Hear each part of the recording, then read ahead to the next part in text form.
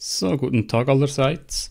Ich möchte ein Video machen zum Super League Projekt. Und zwar soll es darum gehen, wie man hier am besten den Einstieg findet, wenn man jetzt gar keine Idee hat, wie man vorgehen soll. Also ich äh, fange mal an. Ich gehe von vorne los. Ähm, klone hier das Repository mal über Visual Studio Code. Und speichere das bei mir lokal ab.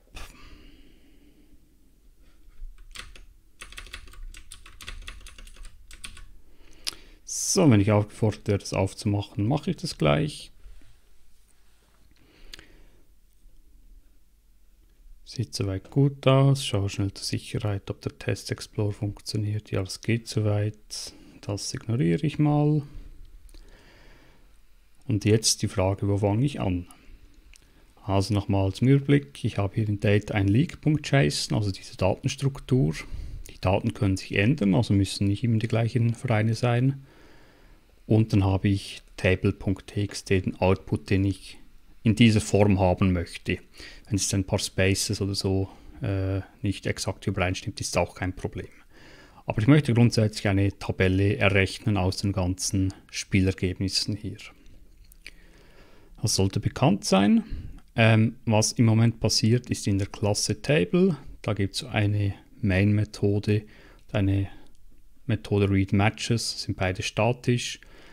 Und wenn man das ausführt, .NET Run Project Super League,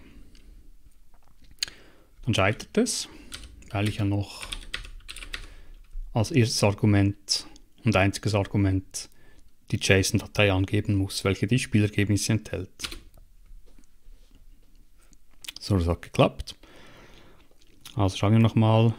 Main ruft Read Matches auf. Read Matches gibt eine Liste von Match-Objekten zurück. Hier findet die ganze JSON-Deserialisierung statt. Also da, das kann man eigentlich so übernehmen. Das Main hier ähm, das gibt einfach die Matches aus. Also das kann nicht so bleiben. Hier wollen wir ja schlussendlich mal die Tabelle ausgeben.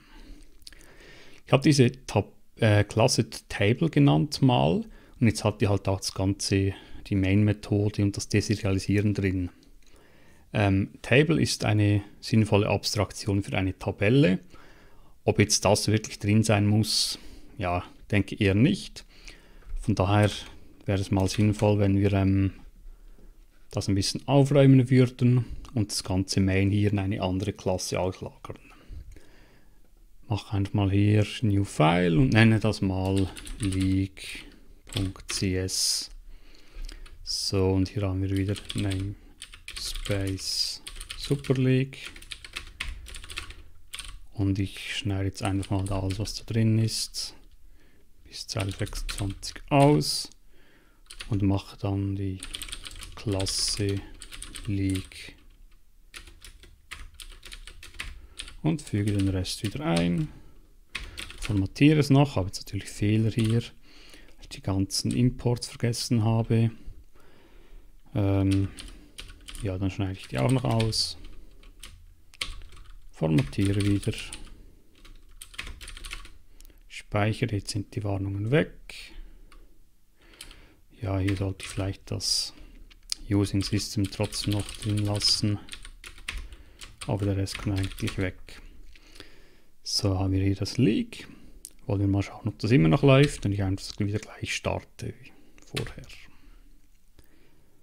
Funktioniert immer noch, weil die Main-Methode wird immer noch gefunden.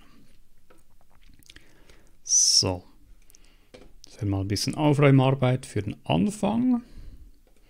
Jetzt habe ich eine leere Class Table.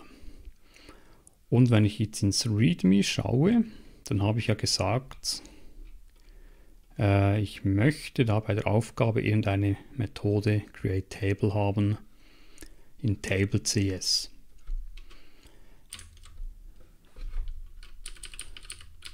Also Public Rückgabetyp weiß ich noch nicht. Ich mache einfach mal void createTable. Dann wichtig Signatur, eine Liste von Matches halte ich da habe sie vorhin Results genannt, kann sie auch einfach Matches nennen. Gut. List, das ist ähm, eine Collection Class, äh, die können wir von hier übernehmen. Nehmen wir die generische. So. Und jetzt ist ein bisschen speziell, ich habe hier eine Class namens Table und ich habe eine Methode CreateTable drin, so etwas wie ein Konstruktor. Äh, was meine eigentliche Idee war, ist, dass man diese Methode statisch macht. Das habe ich bisher so, äh, Static natürlich auf Englisch, habe ich bisher so nicht erwähnt, ist aber durchaus sinnvoll. Das ist eine sogenannte statische Factory-Methode. Die hat gegenüber einem Konstruktor gewisse Vorteile. Ich möchte jetzt nicht im Detail darauf eingehen. Ich vermerke dann im README noch, ähm, dass diese Methode eigentlich statisch sein kann. Also, diese Methode erstellt. Die macht im Moment noch nichts wahnsinnig Sinnvolles, also die macht noch gar nichts. Jetzt müssen wir uns überlegen, was die zurückgeben sollte. Und wie es im README beschrieben ist, geht es eigentlich darum, dass diese Methode irgendein Objekt erstellt. Das ist jetzt mein altes geforktes README. Ich gehe vielleicht schnell aufs Original. Habe ich das mit der statischen Methode eigentlich auch schon vermerkt. Ähm, wir geben ein Objekt zurück, das dann eine ToString-Methode hat und ToString gibt dann die Tabelle zurück, die textuelle Tabelle. Aber zurückgegeben werden soll eine Abstraktion dieser Tabelle. Und eine Table wäre ja genau das Richtige eigentlich. Also machen wir hier mal public static table create table gibt natürlich jetzt nicht zurück. Äh, mache einfach mal return null, denke ich. Damit es wenigstens ziemlich kompiliert. Okay, soweit mal gut. Ähm, jetzt müssen wir uns überlegen, ich habe es ja hier beschrieben, äh, dass man vielleicht eine geeignete Abstraktion für eine Tabellenzeile machen soll. Also nicht nur vielleicht, das ist, finde ich, sehr wichtig. Wie könnte diese aussehen? Oder wie könnte sie heißen? Ja, eine Tabelle besteht aus Zeilen und vielleicht könnte man es einfach mal Table Row nennen. Macht eine neue Datei. Namespace Superleague, je nachdem wie Sie Ihre Entwicklungsumgebung konfiguriert haben oder was Sie verwenden, wird da sehr viel automatisch passieren. Ich tippe es einfach jetzt mal ein und schreibe es manuell aus. Okay, äh, dann machen wir eine Klasse mit mal Public Class Table Row. Die hat mal nichts drin. Soweit, so gut. Und jetzt überlegen wir uns, was eine Tabellenzeile denn so beinhalten soll. Also schauen wir mal an, wie die Ausgabe aussehen soll schlussendlich. Ich habe sicher mal so einen Namen drin, also Public String Team Name oder sowas, könnte man sagen. Dann machen wir auch immer Getter und Setter dazu, also Properties. Dann haben wir den Rang, ja, das kommt dann ganz am Schluss, denke ich, Anzahl Siege, Unentschieden und so weiter. Fangen wir doch mal bei den Toren an, das ist so ein bisschen das Einfachste. Also schlussendlich musste alles mal rein in diese Klasse, aber jetzt machen wir einfach mal das Nötigste. Also int goals scored, also erzielte Tore mit Getter und Setter und dann noch vielleicht Goals Received, Gaps, falsche Klammer mit Getter und Setter. So. Ja, das sind mal, ist mal ein guter Anfang. Und jetzt könnte man noch, oder sollte man vielleicht einen Konstruktor machen. Natürlich in der Klasse Public Table Row. Jetzt die Frage, machen wir einen leeren Standardkonstruktor? Ich denke, das Team kennt man eigentlich immer, wenn man so eine Zeile erzeugen möchte. Also machen wir mal einen Konstruktor, der das Team entgegennimmt. Und dann können wir Teamname gleich Teamname setzen. Das initialisieren. Goals scored. Gehen wir davon aus, am Anfang der Saison haben sie noch keine Tore geschossen oder erhalten. Und dann initialisieren wir es mal mit 0 einfach so. Ich bin mir gar nicht sicher, ob das automatisch passiert. Wie schon oft gesagt, ich bin kein C-Sharp-Experte. Aber wichtig, hier ist es jetzt initialisiert. Also setzen wir mal. Jetzt ist die Frage, wie wir diese Objekte aufbauen. Gehen wir mal ins Table zurück, machen wir das zu. Und ich habe ja schon mehrmals erwähnt, dass ein Dictionary eine sehr, voll, äh, sehr sinnvolle Abstraktion sein kann, wenn es um solche Sachen geht. Und wie ich das meinte, äh, erkläre ich jetzt hier an einem Beispiel, indem ich das mal beispielhaft ausimplementiere. Also ich habe die Klasse, äh, die statische Methode createTable, also eine statische Factory-Methode, die so ein Table-Objekt erzeugt. Im Moment gibt es noch nichts zurück. Also, was wir sicher machen müssen, ist, wir müssen irgendwie über diese ganzen Match, Matches iterieren. Also for each match, match in matches. Beispiel so. Gut, und die Frage ist, was machen wir mit jedem Match? Also jeder Match hat ja äh, zwei Mannschaften, die gegeneinander gespielt haben und jeweils die Anzahl Tore, die von der Heim- und von der Auswärtsmannschaft erzielt worden sind. Jetzt wollen wir anhand dieser, dieses Mannschaftsnamens, wollen wir jetzt die Ergebnisse zuordnen und verarbeiten können. Und meine Idee ist jetzt da, dass man das mit einem Dictionary löst. Also ich ordne dann immer einen Schlüssel, in meinem Fall ein String, ordne ich einem Wert zu und das wäre eine Table Row. Nenne das entsprechend Dictionary und bin mir sicher, das kann man mit der aktuellen Version von C Sharp kompakter ausdrücken, aber das ist nicht das Thema. Ich schreibe es mal äh, komplett aus. Also die Idee von diesem Dictionary ist, dass ich zu jedem Mannschaftsnamen einen Tabelleneintrag abspeichere. Und was das bringt, ähm, sieht man, wenn ich jetzt das Ganze ausimplementiere. Also ich habe hier den Match und der besteht immer aus einem Home-Team, Away-Team, Home-Goals, Away-Goals. Also, ich lese jetzt einfach, Table, geht zurück, lese jetzt einfach mal diese Information aus Nehmen mal String HomeTeam gleich Match.HomeTeam, da wird es ein bisschen kürzer wird und String AwayTeam gleich Match.AwayTeam. Jetzt ist die Frage, ähm, gibt es schon eine Tabellenzeile oder gibt es noch keine? Und wenn ich das in einem Dictionary abspeichere und den Teamnamen als Identifikation verwende, als Schlüssel, kann ich das folgendermaßen angehen. Ich kann zum Beispiel prüfen, also wenn Table Rows contains Key den Schlüssel Home Team nicht drin hat, dann kann ich sagen, ja, jetzt fange ich eine neue Tabellenzeile an. Table Rows und dann mache ich Add und sage mal Home Team als Schlüssel. Und die Frage ist jetzt der Wert hier kommt eine neue Table Row hinein. Und die hat eben als Konstruktor halt äh, erwartet die, den Teamnamen. Jetzt denkt sie sich vielleicht, ist der redundant, also den Schlüssel hier und den Wert hier. In diesem Fall ja. Es ist aber sinnvoll für meinen Anwendungsfall. Eigentlich ist ja egal, ob jetzt das, der Teamname hier in der Table Row drin ist oder nicht. Wichtig ist, dass ich zu jedem Teamnamen eine Tabellenzeile haben, habe. Das gleiche mache ich jetzt für das Auswärtsteam. Contains Key, dann nehmen wir Away Team,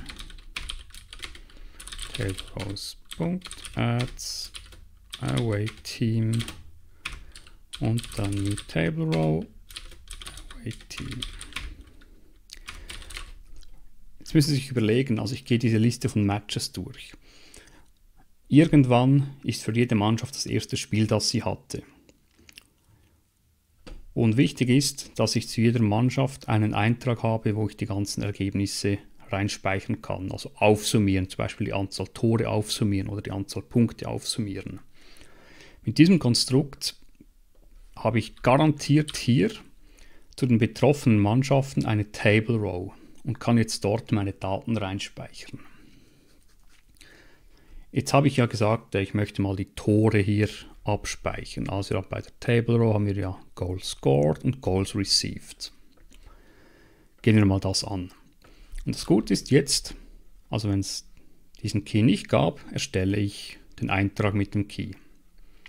Für beide Mannschaften. Und jetzt kann ich einfach so, Table Rows, kann ich auf diesen Eintrag zugreifen und erhalte hier das Table Row Objekt. So, also ich habe jetzt das Home Team in Zugriff und möchte jetzt Goal Scored, die Anzahl Tore aufsummieren, weil in jedem Spiel werden Tore erzielt. Vielleicht auch sind es 0 Tore, aber wenn ich 0 dazu zähle, macht ja auch nichts. So, jetzt kann ich dieses Goal Scored Property hier, kann ich was hinzufügen. Die Frage ist was. Das ist ganz einfach. Der Match hat auch ein Home Goals, also die von der Heimmannschaft erzielten Tore. Das zähle ich mal dazu. Und bei der Auswärtsmannschaft mache ich es mal genau gleich. Away Team Goal Scored plus gleich. Achtung, Away Goals. Also hier, ich muss gar nicht wissen, um welche Mannschaften es geht. Es ist einfach ein Home-Team, ein Away-Team und die haben Home-Goals bzw. Away-Goals geschossen. So, jetzt ist die Frage, Goals scored sind die erzielten Tore. Was mache ich jetzt mit den erhaltenen oder kassierten Toren? Goals received. Äh, da muss ich auch was dazu zählen. Lass es mal offen. Kopiere das mal. Team.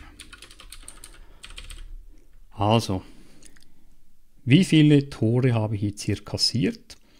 Also wenn ich das Home-Team bin, dann habe ich Home Goals geschossen und mein Gegner, das Away-Team, hat dann Away Goals geschossen. Das heißt, ich habe diese kassiert. Punkt Away Goals und für das Away-Team dann genau das Gegenteil. Das Auswärtsteam hat so viele Tore kassiert, wie das Heimteam geschossen hat. Nehme ich hier Home Goals. So. Jetzt habe ich schon mal hier ähm, die ganzen Tore aufsummiert. Wenn ich das richtig gemacht habe, dann wäre eigentlich schon ein Teil meines Problems gelöst. Jetzt das Problem, das Ganze ist noch nicht lauffähig. Ich habe jetzt hier auf das Test-Driven Development verzichtet und Sie sehen auch das Problem daran, es dauert sehr lange, bis ich etwas testen kann.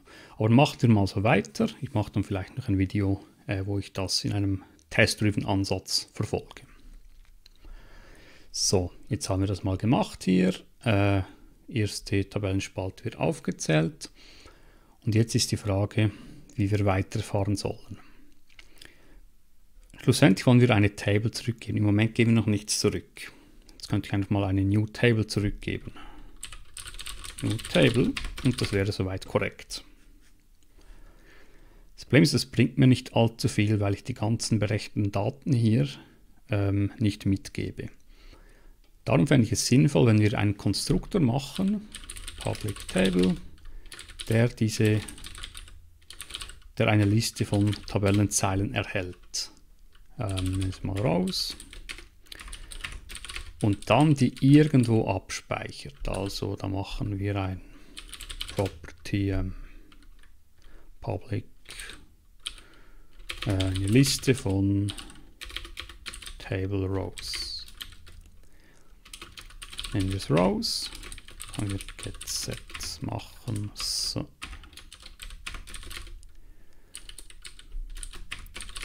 Und dann hier einfach Rows gleich Rows setzen. Ist das initialisiert. Und da können wir es unten entsprechend dann diese Rows mitgeben. Achtung, ich habe ein Dictionary, das heißt, ich habe Keys und Values. Und die Table ist eine Liste von Table Rows, nicht ein Dictionary. Eine Liste ist hier sinnvoll, weil ich das Ganze schlussendlich mal sortieren möchte und eine Liste ist in der Regel geordnet. Wie erhalten wir jetzt aus dem Dictionary eine Liste? Das geht recht einfach. Mache eine List Table Row und gebe dann vom Table Rows gebe ich die Values in den Konstruktor mit und schon habe ich das abgespeichert. Also meine Table hat jetzt eine statische Factory-Methode, die aus den Matches eine Datenstruktur erzeugt und diese Datenstruktur ist die Table und die Table besteht aus einer Liste von Tabellenzeilen und ich kann das so aufbauen. Okay, die Frage ist jetzt, wie wir den ToString-Teil machen. Also wir wollen ja diese Tabelle irgendwie ausgeben können. Machen wir mal hier unten weiter. Ähm, Public Override. Wird schon vorgeschlagen, soll die ToString-Methode beschreiben. Das ist mal so weit, so gut. Ähm, ja, und wie soll ich jetzt das am besten machen? Ich möchte jetzt die Tabelle als String ausgeben. Machen wir es mal, ja, nicht wahnsinnig schön. Also optisch nicht wahnsinnig schön, aber einfach mal, damit man das auf der Ausgabe sehen kann. Jetzt diese Tabelle soll ja aus einer Titelzeile bestehen und einer Reihe von Tabellenzeilen. Und wenn man so lange Strings verkettet, ist oft ein String Writer String Writer sinnvoll. Die Frage ist jetzt, warum ich den nicht in Zugriff habe. Machen wir hier so.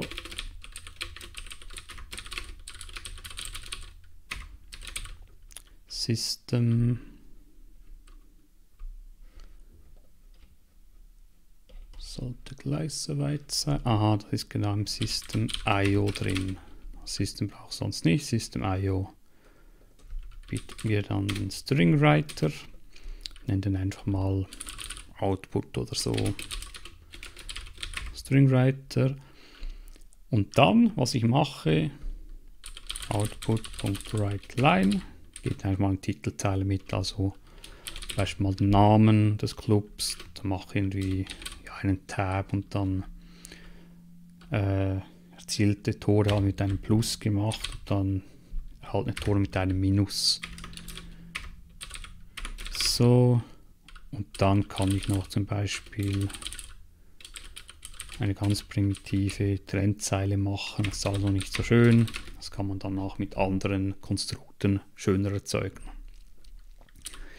Dann weiter. Jetzt möchte ich die einzelnen Tabellenzeilen verarbeiten und hier ist natürlich wieder die For-Each-Schleife sinnvoll. Ich gehe aber nicht mehr über die ähm, Matches hinein, sondern über die Table Rows. Also Table Row, Row in, wie heißt das Property? Rows. So. Und jetzt mache ich hier, ja, was füge ich hinzu? Äh, nehmen wir jeweils, ja, könnte jetzt ein String konstruieren. Vielleicht noch einfacher wäre es, ich füge einfach die Row hinzu und dann wird die ToString-Methode von dieser TableRow-Klasse aufgerufen. Leider existiert die noch nicht, also machen wir schn schnell eine toString. Und das gehen wir zurück. Äh, ich glaube, diese Notation hier, jetzt mit einem Dollarzeichen, kann ich da Variablen interpolieren. Dann nehmen wir mal Teamname, dann machen wir einen Tab. Es wird wahrscheinlich nicht aufgehen mit den Leerzeichen. Aber probieren wir es mal. Wie man Strings schön formatiert, ist dann das Thema vielleicht eines anderen Videos. Aber ich habe jetzt die ToString-Methode überschrieben und mein, meine Table kann jetzt einfach die Row hinzufügen und dann wird automatisch ToString aufgerufen. So, Schluss, Output.toString gebe ich zurück, will ein String zurückgeben. Okay, also ich baue hier eine Tabelle auf und gebe sie dann aus hier das Ganze mit dieser Table-Abstraktion. So, jetzt gehe ich aber mal zurück. Äh, ich möchte ja das Programm irgendwann ausführen können. Habe ich da dieses leak.cs. Und da habe ich diese Read Matches Methode, die Main Methode. Und bisher gibt immer noch äh, einfach die einzelnen Matches auf die Kommandozeile aus. Ist ja nicht sinnvoll.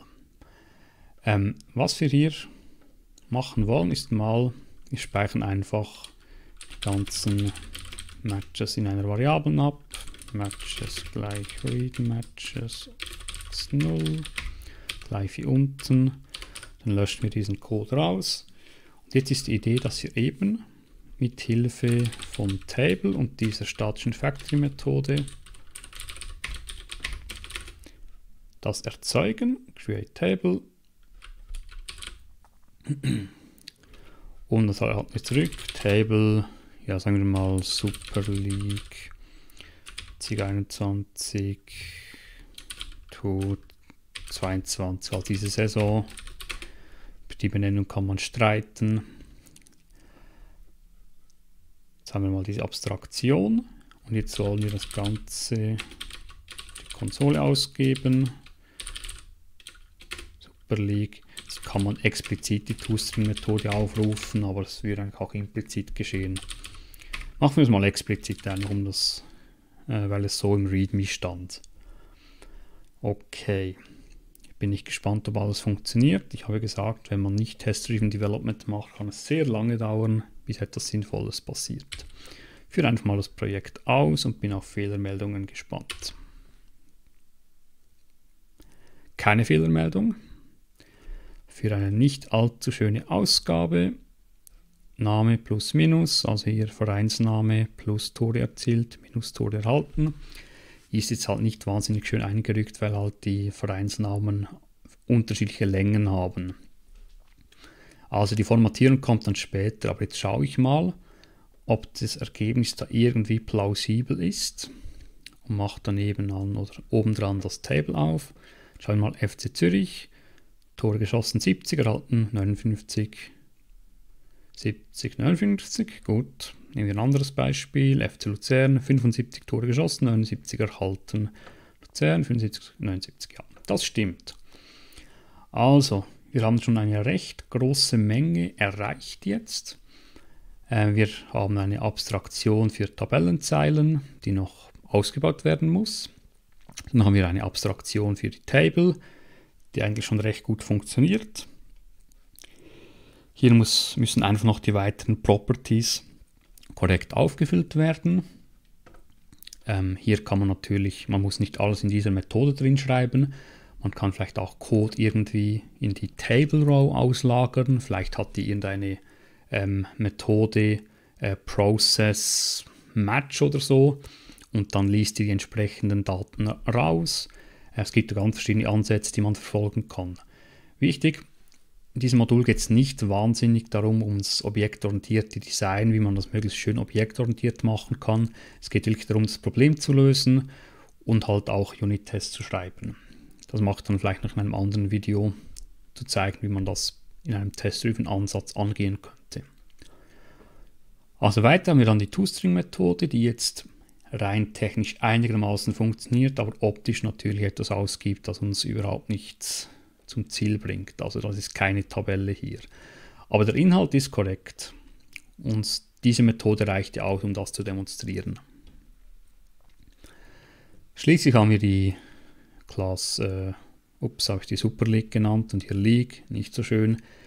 Egal, es funktioniert mal. Ich habe eine Main-Methode, die diese Read-Matches-Methode verwendet, also die müsst ihr nicht berühren und dann eigentlich so die High-Level API ansteuert. Create Table ist eine High-Level API und was dort drin ist, ist eigentlich egal von außen. Soll einfach so einfach zu verwenden sein.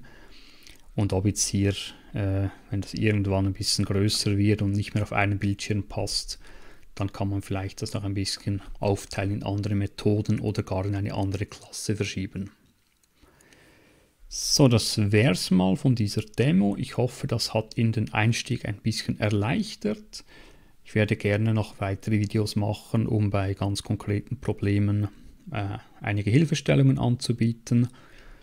Sicherlich String-Formatierung wird ein Thema sein, wie man das schön machen kann. Hier wird es auch ein bisschen Sprach- und Framework-spezifisch.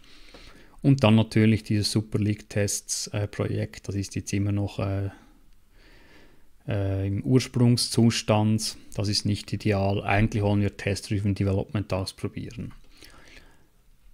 Aber das, wie gesagt, in einem anderen Video.